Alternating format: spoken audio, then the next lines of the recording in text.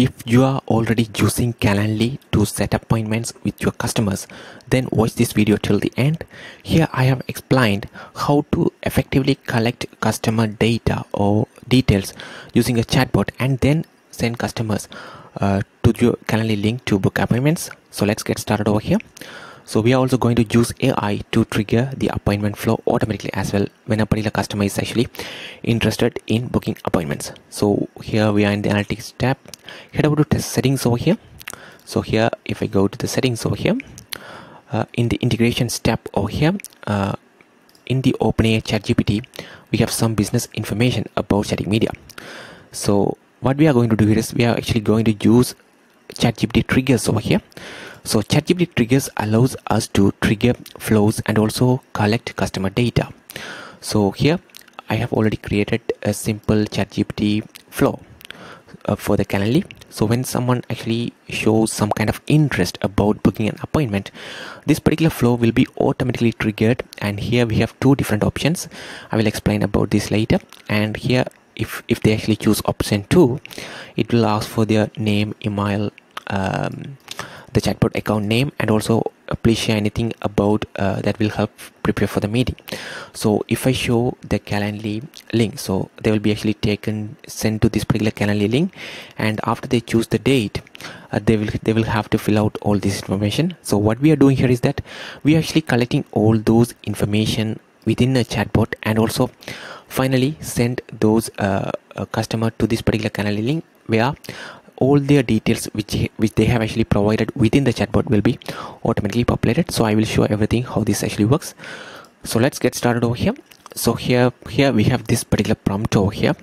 So here we need to actually add a ChatGPT trigger to send customers to this particular appointment scheduling flow when they actually interested in the services or if they would like to book an appointment. So let me actually create a ChatGPT trigger over here and name this ChatGPT trigger as you can simply name this one as book appointments Calendly. So here you can allows customer to book appointments.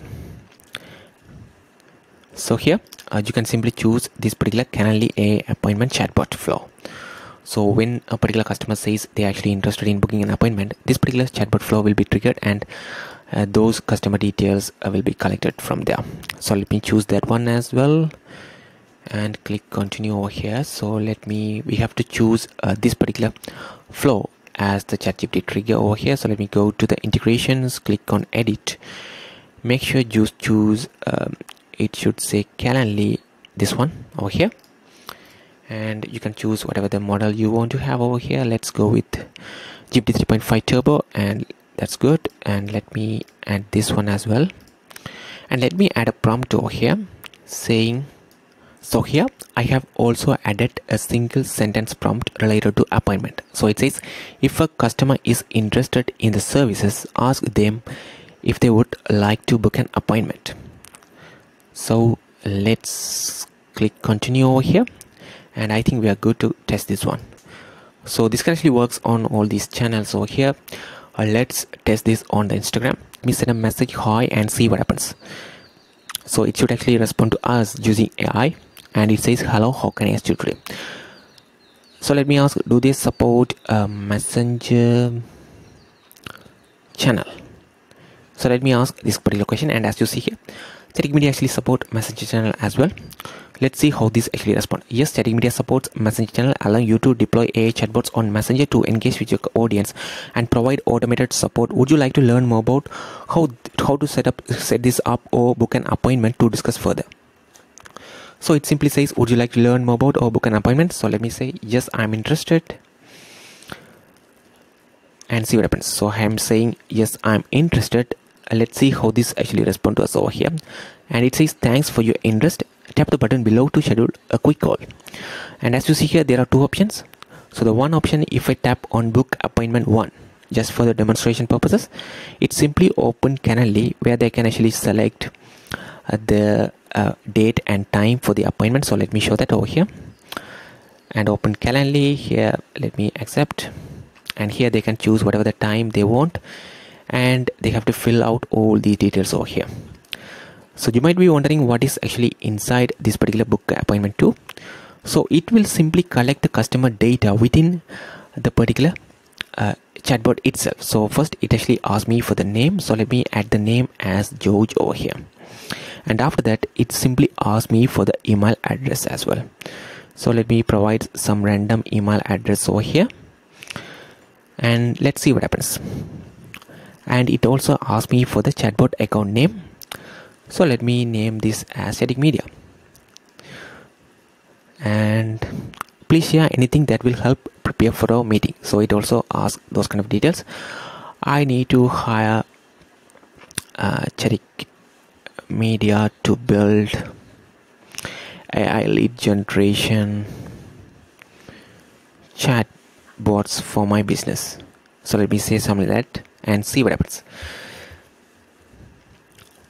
thank you. And it says please pick a date and time. So when I tap on this button schedule appointment it will still send you to the Calendly link. But the beautiful thing about here is that it will simply pop up all the details we have just provided. So let me show that. So once I choose a date and time over here whatever the details I provided in the chat is already filled up over here. The name is here email is here and also the chatbot account name is here. And also please share anything that's also filled up all here. So you might be wondering what is the use of collecting these sort of um, um, details in the chat. So first thing is that even if they don't book an appointment through so instead of if you provide this particular link and if they visit over there and they check your availability and they could find a time to book an appointment so they will simply leave it, leave the particular page but here in the appointment to flow here we actually collect their name and also the email address as well.